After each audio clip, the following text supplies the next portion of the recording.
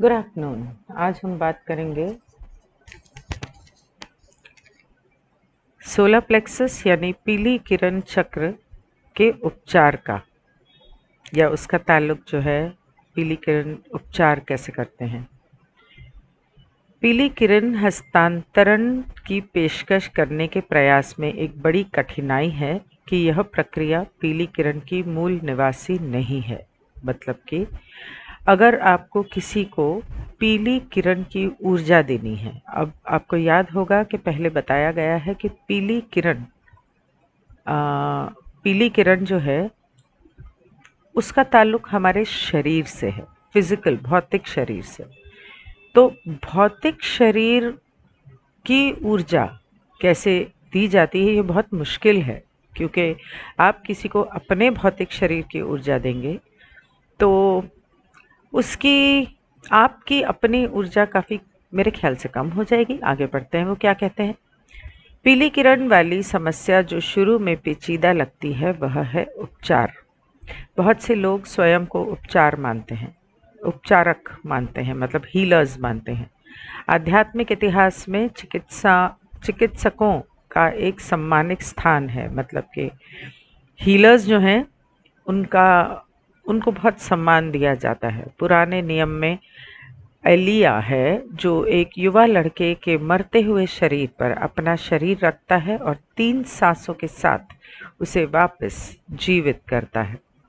नए नए जो नई ज़िंदगी या नए नियम में, नए समय में यीशु हैं और प्रेरित हैं। यीशु और अपोसल्स हैं जो बीमारों को ठीक करते हैं और यहाँ तक कि मृतकों को जीवित भी करते हैं, या किया है।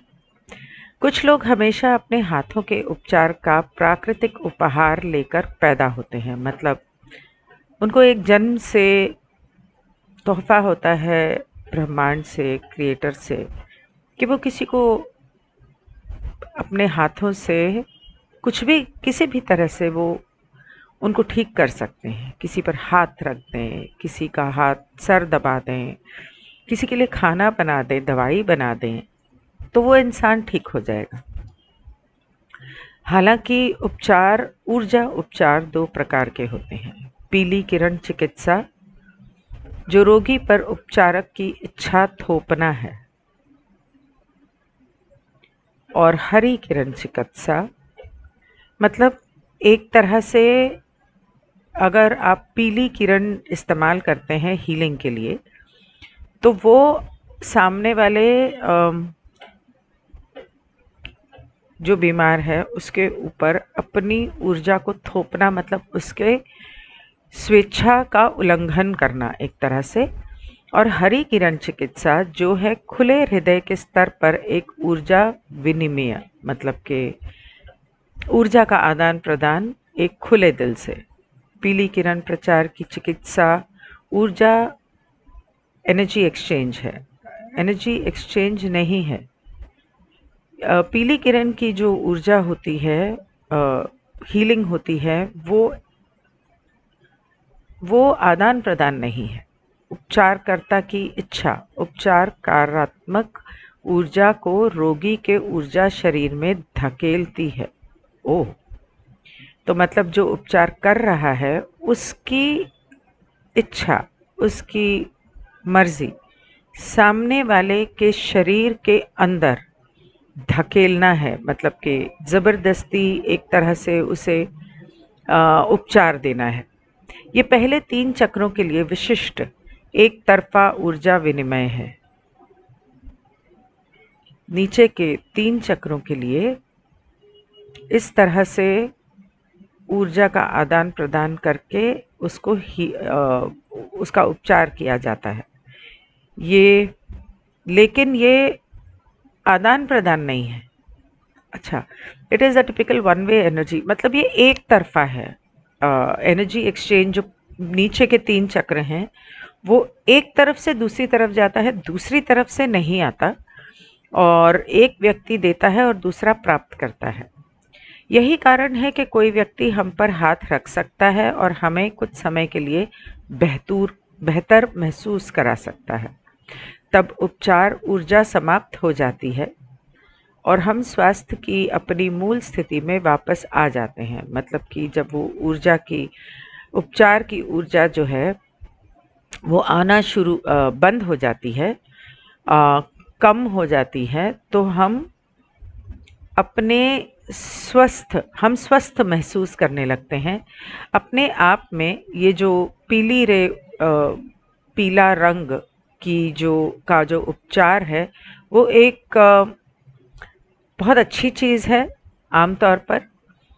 आम, इसके अंदर कोई बुराई या स्वयं की सेवा करने वाली ऊर्जा नहीं होती। अच्छा। इसके अंदर बुरी बुराई और सर्विस टू सेल्फ वाली ऊर्जा नहीं होती।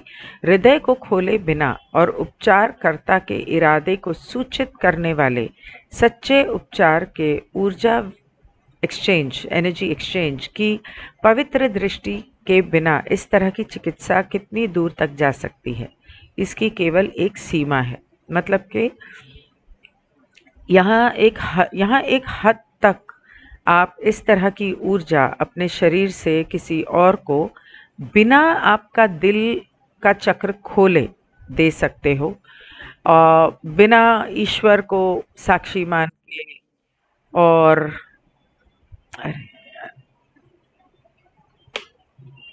बिना ईश्वर को साक्षी माने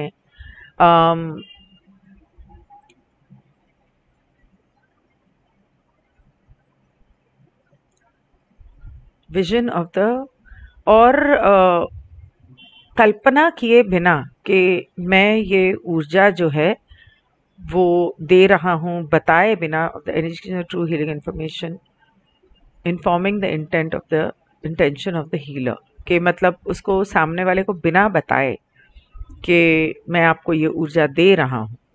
Let me just confirm there is only the limitation of how far such healing may go without the heart being opened and without a sacred vision of the energy exchange of true healing informing the intention of the healer मतलब एक इंसान अगर किसी को पीली किरण ऊर्जा देना चाहता है उस का उसको उपचार करने के लिए बिना बताए और ईश्वर को साक्षी माने बिना अपने हार्ट चक्र को खोले बिना ये एक हद तक ही की जा सकती है। बहुत ज़्यादा दूर रहकर नहीं की तो, तो इसका मतलब डिस्टेंट हीलिंग नहीं कर सकते। जब एक प्राकृतिक चिकित्सक निर्णय लेता है कि वह अपना उपचार केवल विकसित करना चाहता है तो वह कभी सफल तभी सफल होगा जब वह अपना दिल खोलेगा उससे पहले नहीं।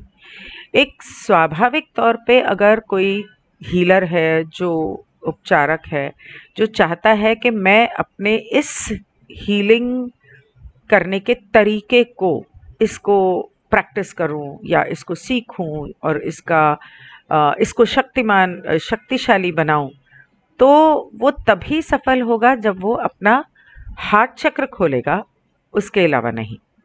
खुले दिल से उपचारक बिना बनने की सामान्य प्रक्रिया स्वयं को इतनी पूर्ण करुणा के साथ देखना है कि स्वयं को ठीक करना संभव हो सके। दिल खोलकर या दिल से या ग्रीन रे से हीलिंग देना इस तरह से है कि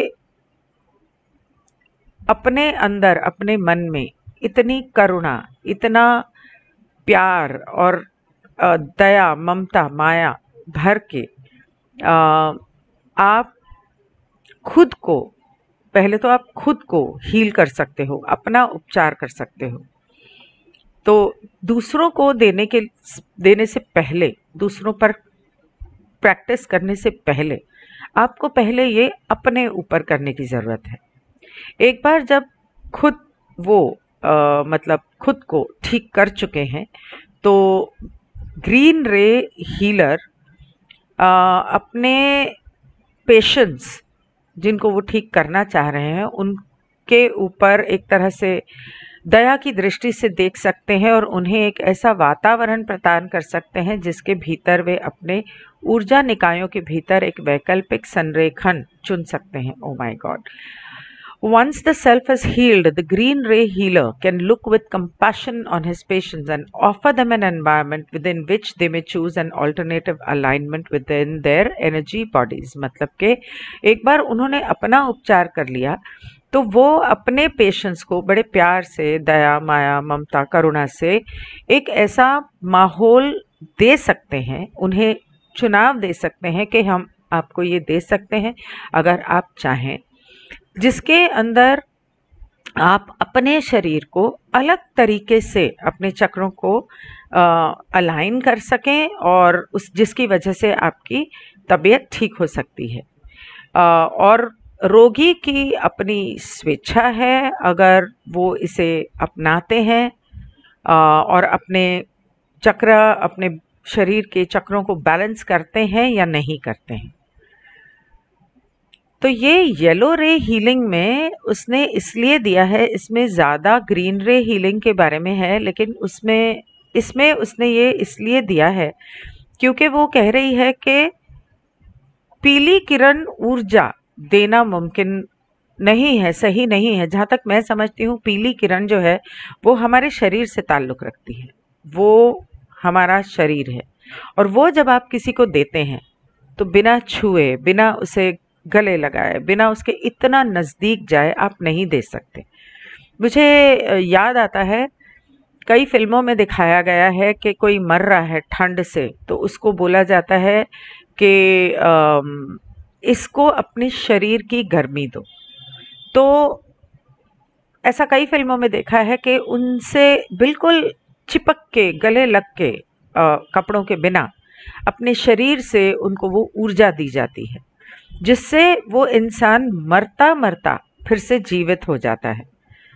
हो सकता है मुझे इस बारे में ये तो पता था कि ये फिजिकली होता है, क्योंकि फ़िज़िकल हीट बॉडी की देते हैं।